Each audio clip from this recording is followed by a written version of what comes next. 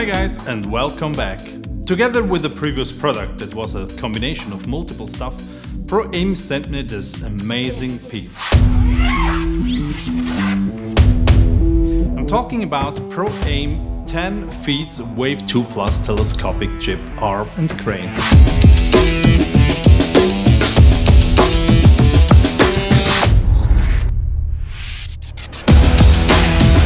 Name it's actually telescopic like its shape. I like to call it simply Proaim Wave 2 Plus.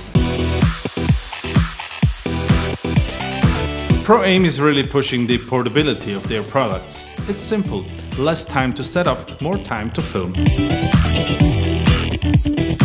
I love this jib since the first time I saw it on their website. It's long enough for most of my shooting environments, but you can even shrink it to work in really tight spaces without actually losing too much time.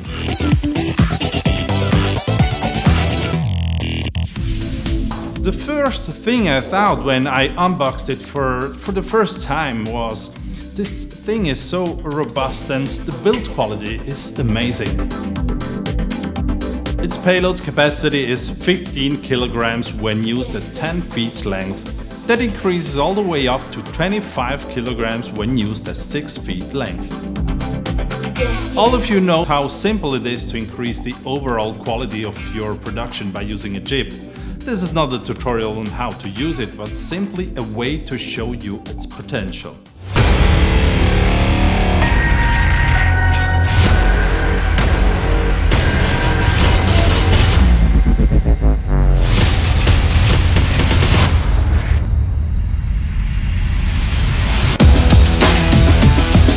Camera head mount comes with the 100mm ball option or even a 75mm mount adding this adapter including in the package.